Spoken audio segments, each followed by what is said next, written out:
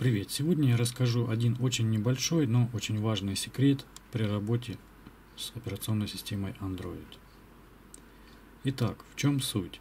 Смотрите, а, если вы используете мобильный интернет GPRS Edge, то если не отключить автообновление всех программ и программного обеспечения, у вас будет э, потребляться трафик, естественно, это будут лишние деньги – с вас будут сниматься деньги. Как это отключить? Первое, что нам нужно сделать, это войти вот в этот пункт. В меню о телефоне. Смотрите. Обновление программного обеспечения. И убираем вот эту вот галочку. Проверка по расписанию. Регулярка, проверка по сети наличия. То есть в данном случае не будет обновления программного обеспечения. Далее Далее. Теперь нужно войти, э, войти в аккаунт Play Market. Что это такое? То есть вы должны быть зарегистрированы как владелец э, Android телефона. Вот он, Play Market. Или где-то вот здесь еще можно поискать значок среди всех значков. Сейчас посмотрим. Так, здесь нету. Вот он, видите? Вот он, входим в Play Market. То есть у меня телефон уже подключен к Play Market.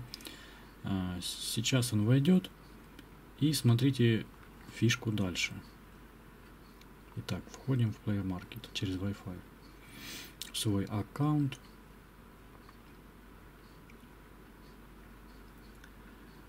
Так, появились значки. Все нормально. Далее, вот таким вот движением входим в меню. И после чего нажимаем настройки. Вот, теперь смотрите, вот, э, вот эти все настройки, они появляются только в режиме онлайн, то есть, а, когда вы подключены к интернету. Просто так, без подключения к интернету, вы не настроите все обновления. Итак, вот видите, автообновление приложений. Вот, выставляем их, допустим, никогда, как у меня сейчас включено. В этом случае у вас не будет подключаться телефон сам к мобильному интернету. Вот. Если мы выберем всегда, то, естественно, все будет подключаться, все будет э, скачиваться, и вы не сможете, и, и вы будете платить деньги неизвестно за что, в общем-то. Можете выбрать только через Wi-Fi, то есть э, в данном случае, естественно, Wi-Fi он фактически бесплатный. Вот так выбираем никогда. В общем-то и все. Вот этого достаточно. Этого достаточно. Все, больше ничего не нужно. После этого можно смело пользоваться мобильным интернетом в андроиде.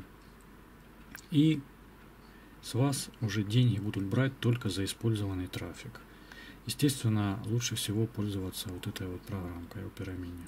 Как вы понимаете, она а, меньше всего потребляет трафик. Так, ну ладно, все. Спрашивайте, кому что не ясно. Постараюсь вам ответить. Всем удачи!